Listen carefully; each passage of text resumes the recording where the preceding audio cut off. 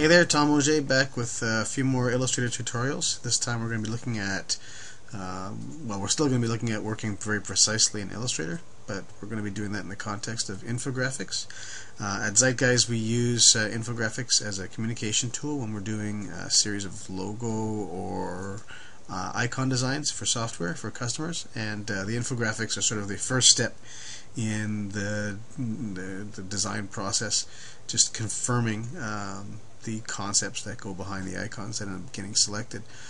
It's really important that we work really precisely and that we keep our artwork extremely simple when we're doing infographics. That way we're sure that the icons themselves won't become overly complex and not fit within the required pixel dimensions.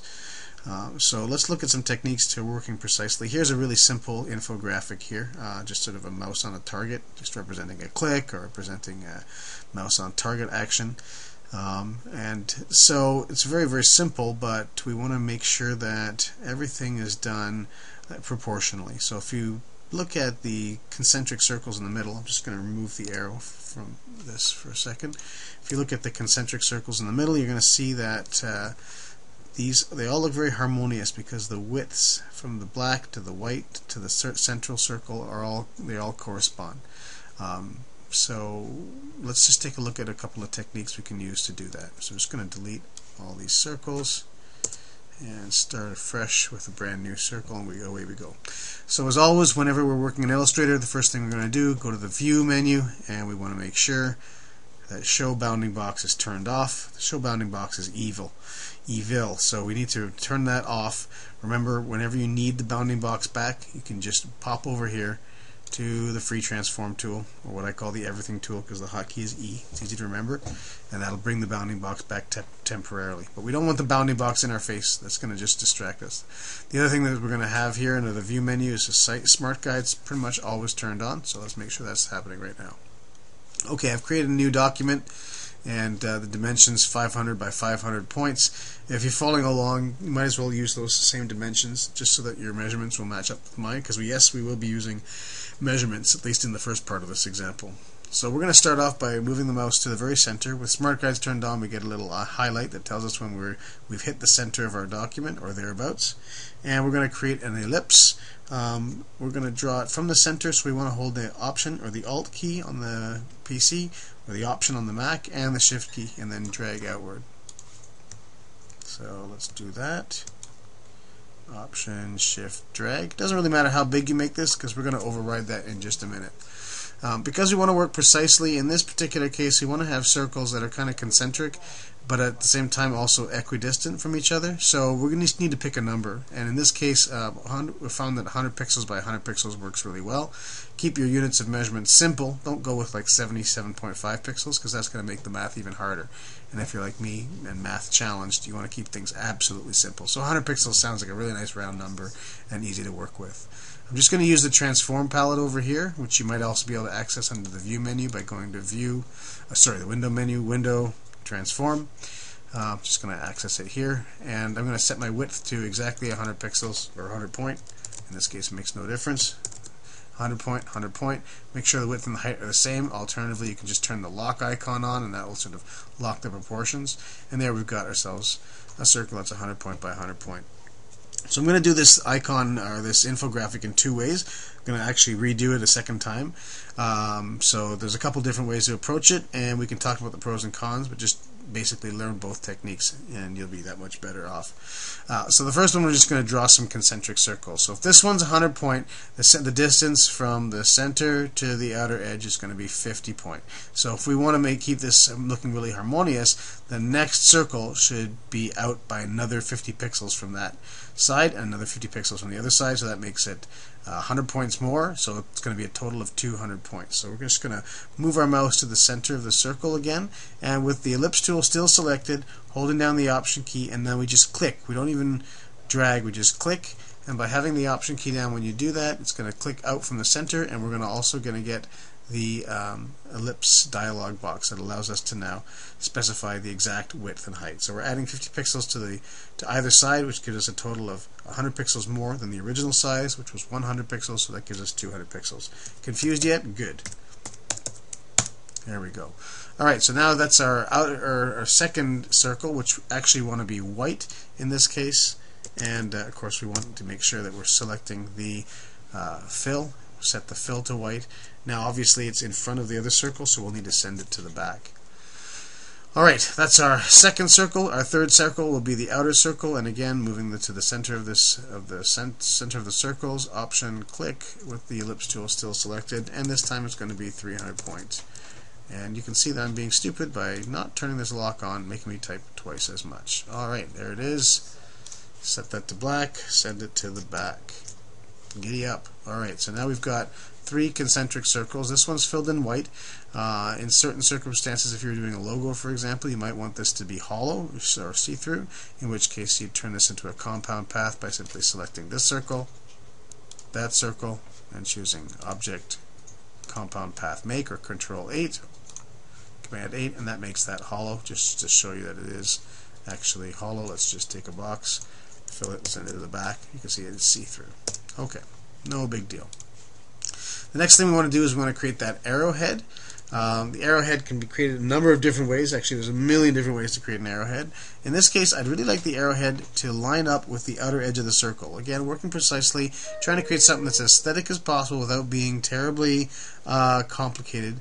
Let's just let's just use the dimensions of the circle as our guides, and that's going to guarantee that the whole result ends up being very harmonious and aesthetic. So we're going to start in the center with the pen tool, and um, let's just reset our colors here so that we don't get too crazy. Alright, I'm just going to start with a black out, black, uh, uh, black fill.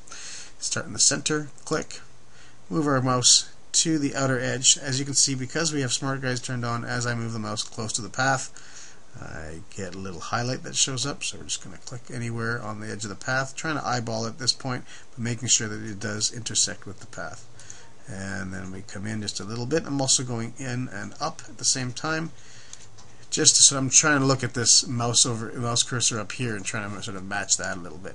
We are doing this perfectly vertically though, up and down. We'll rotate it afterwards. It's going to make our life a lot easier if we just work straight up and down to begin with. And then once you've done those four points here, we're going to just stop and we're going to mirror this thing. So there's no need to continue drawing. We're going to have to switch to the selection tool. So click to your selection tool and select the arrow. This is an important step because we're going to use the mirror tool next. And if you mirror something uh, when you've just got a single point selected, in other words the last point that we just drew with the pen tool selected, it'll only mirror that point. That's not really going to help us. We need to mirror the whole arrow. So we've grabbed the selection tool or the move tool, pressing V on the keyboard, and then just click on any of the points to select them. You'll see them all filled in solid. Okay, now we're ready to select the mirror tool. O on your keyboard grabs the mirror tool, and we want to mirror vertically uh, across the vertical axis. So it's actually we're mirroring horizontally, but across the vertical axis.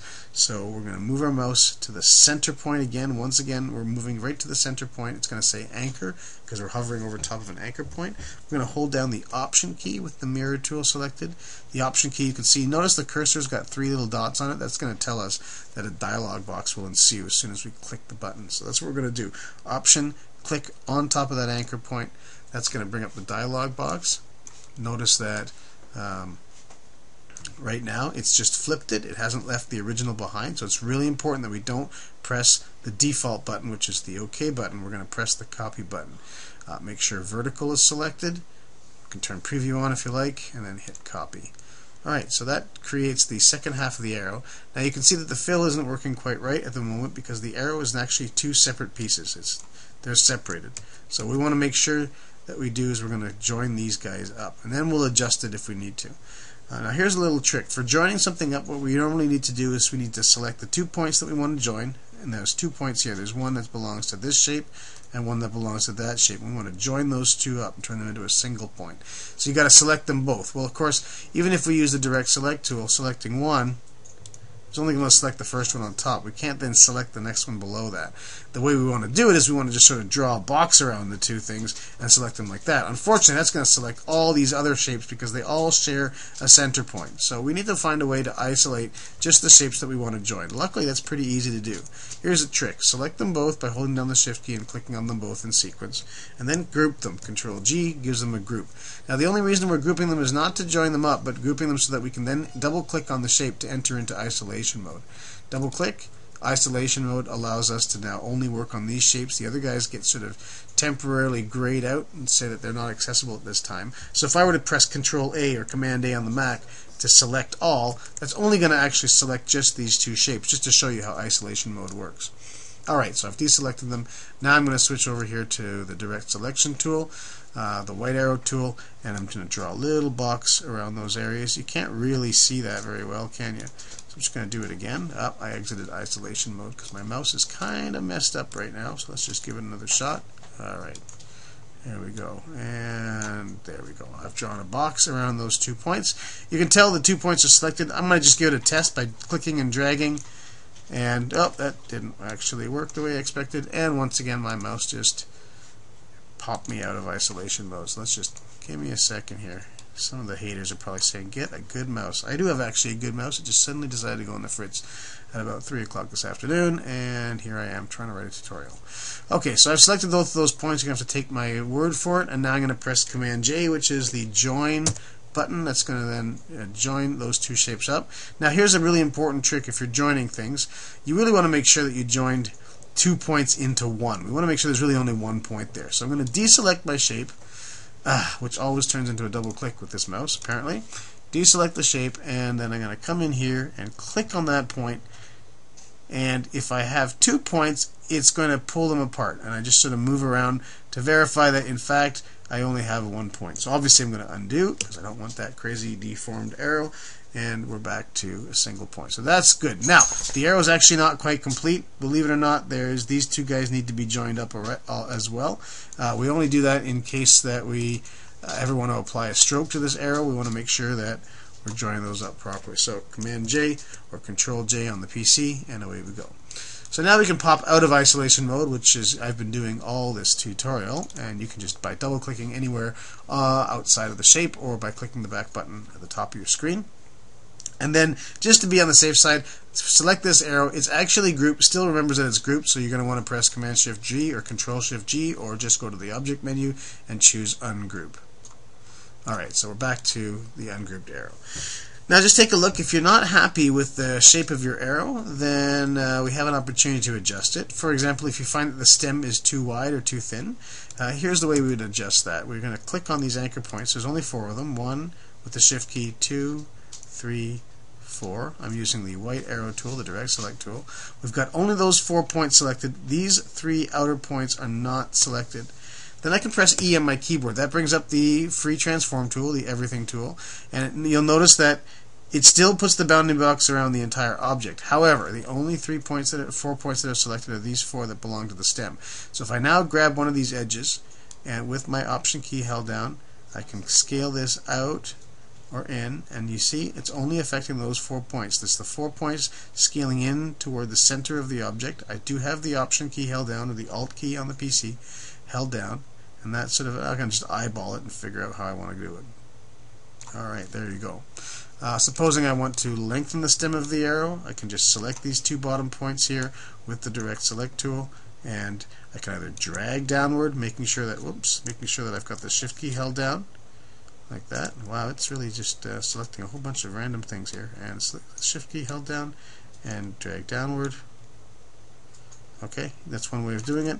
Alternatively, you can use the arrow keys in your keyboard for just a gentle little nudge.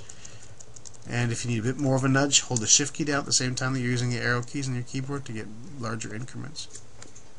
Okay, finally we might want to adjust these corner points. This is going to be the hardest part of the process because well, for a number of reasons. For one thing, we want to make sure that whatever we do to one side, we're doing to the other side. And that, way we have a still a perfectly lined shape. So I'm going to use the Shift key and select both of those points. And then once again, I can go to the Free Transform tool, the Everything tool.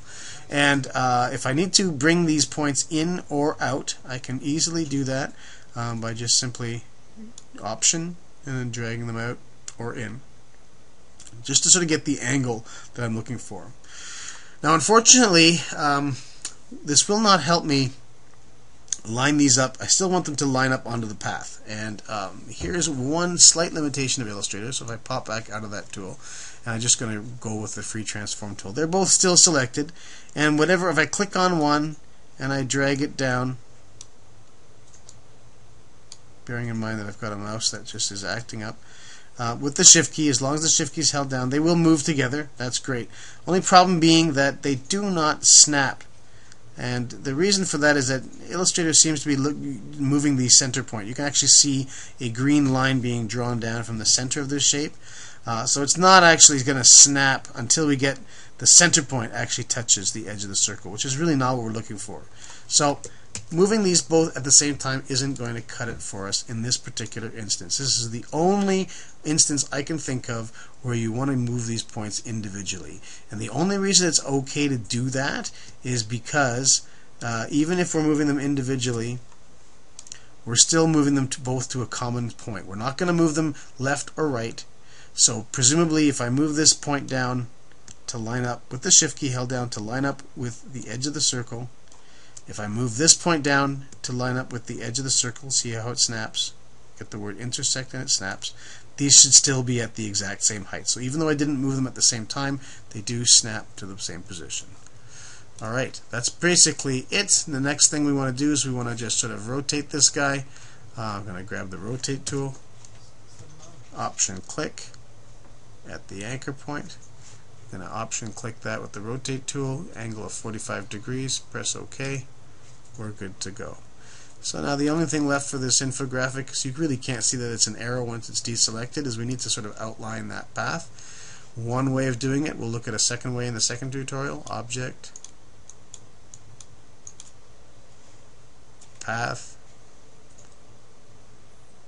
and then we're going to offset the path, and we're going to offset that path by half of 50. So these are all 50 points. 50 points, 50 points, 50 points. So we're going to offset that by half of that amount, which is 25 points. Let's take a look. Exactly. Now you'll notice that by offsetting it, that makes this miter go way out here. That's actually going to become problematic in a little bit. So what we're going to do is we're just going to set that miter limit down to zero. And that basically says, so the miter limit is how far, how many times greater than the stroke width will Illustrator allow us to extend that point in order to be able to create a sharp point. And we said, well, we don't really want to allow it to extend any at all past the uh, 25 point width. So that just sets it to zero and that creates more of a beveled uh, edge. So chamfer. So there we go. And that's it. So now we're going to set this guy to white and these guys were grouped so there it is and there's your infographic. In the second part, we're going to look at a separate way of doing it, exactly the same results, just a slightly different approach uh, using strokes and the appearance palette.